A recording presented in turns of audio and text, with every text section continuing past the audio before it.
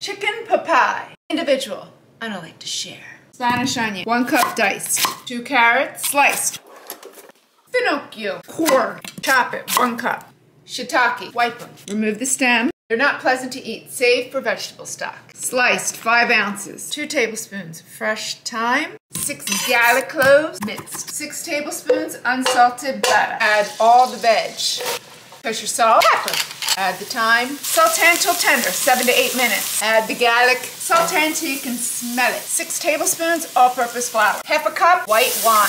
It's gonna absorb into the flour and form a paste. Four cups chicken stock, kosher salt, pepper. Bring it to a bubble, reduce to a simmer, 25 minutes. Three cups cooked chicken. Parsley, because you fancy. Puff pastry.